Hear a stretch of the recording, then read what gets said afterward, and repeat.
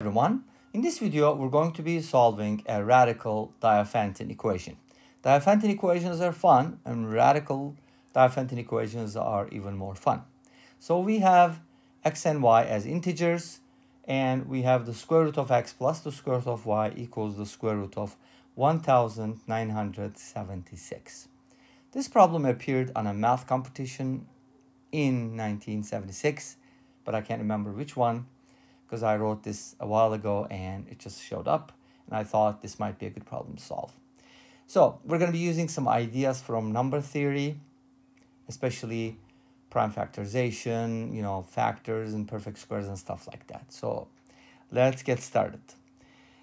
You could definitely try to factor 1976, which is something we're going to do later on and try to guess the solution, which could be a method. I'll be showing uh, two approaches basically here. Let's go ahead and start with the first one. So my first approach is going to be isolating one of the radicals and then squaring both sides. Because why not, right? Whenever you have a radical, you want to get rid of them as get rid of them as much as possible.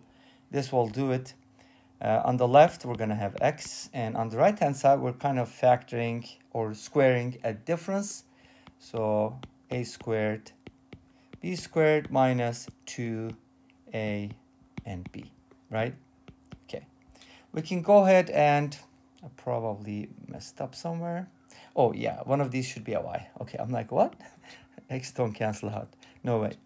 So this is a y, and this should be a y as well and this should be a y as well. Great. So this is a y and this is a y. Now, we can go ahead and put these two radicals together like this, which will be helpful because that's the critical part. Most critical part is about the radical here, okay? So focus on the radical. Now, notice that this is an integer, this is an integer, this is an integer, so this needs to be an integer as well, right? Okay. How can that be an integer? Well, if the expression inside is a perfect square, then it'll be an integer. So we could kind of set it equal to maybe z squared, and that'll do the trick. Okay? But how can I make that thing a perfect square? Let's find out.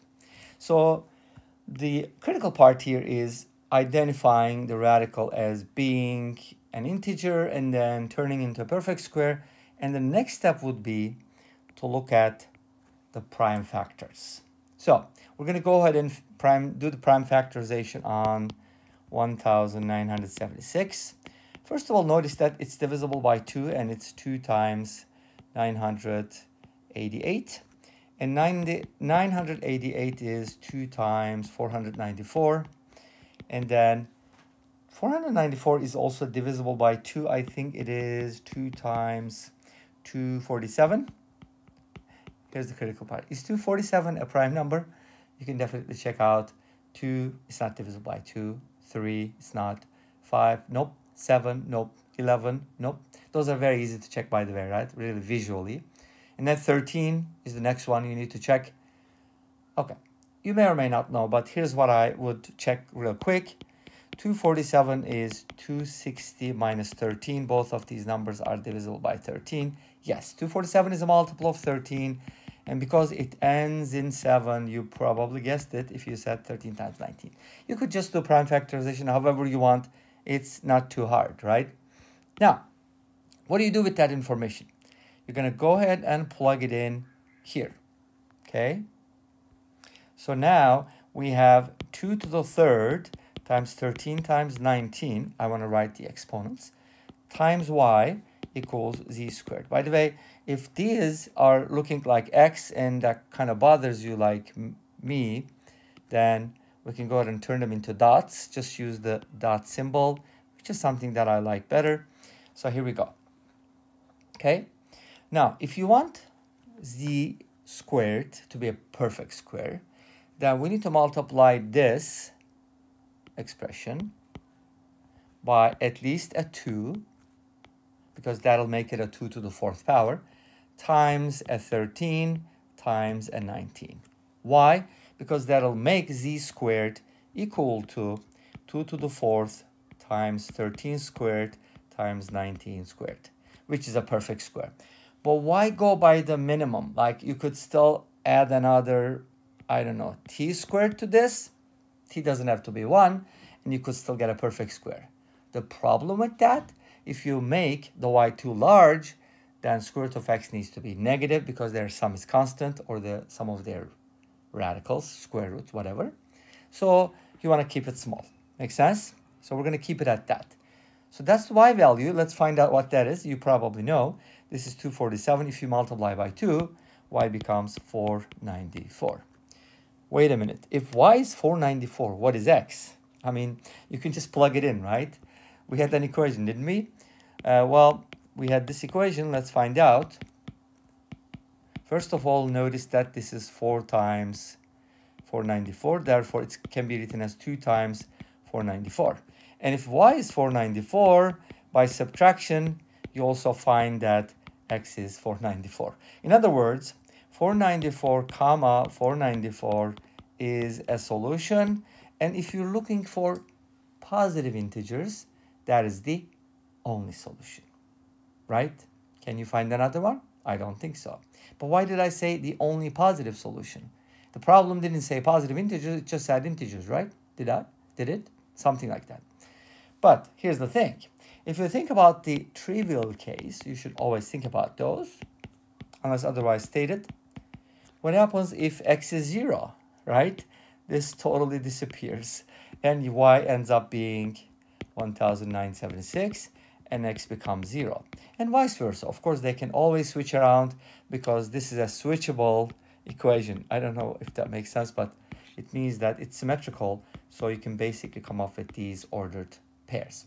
Now we're going to check our answers against Wolfram Alpha at the end so we can see if we are missing any solutions or if Wolfram Alpha was able to find all the solutions we found. It goes both ways, right? Obviously. Okay. Sorry about the noise. If you can hear it, it's kind of like a muscle car that we have them on the street. Um, anyways, so those seem to be the solutions. Let's go ahead and take a look at the second method because I think the second method is pretty cool.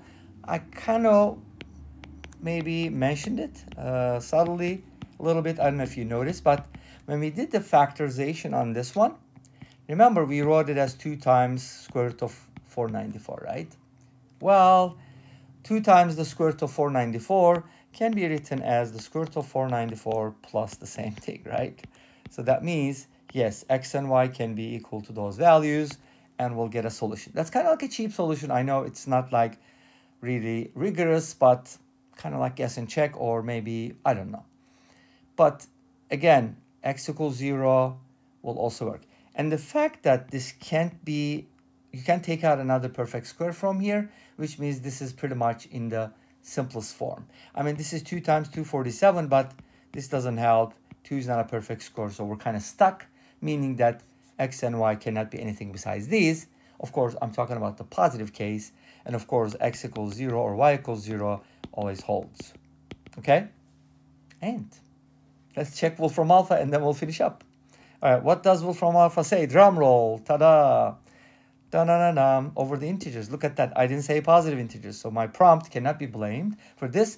Unfortunately, Wolfram Alpha can only find 0 and 1907. I don't know why I can't find 494 or did we make a mistake? Let us know in the comment section. And this brings us to the end of this video. Thanks for watching. I hope you enjoyed it. Please let me know. Don't forget to comment, like, and subscribe. I'll see you next time with another video. Until then, be safe, take care, and bye-bye.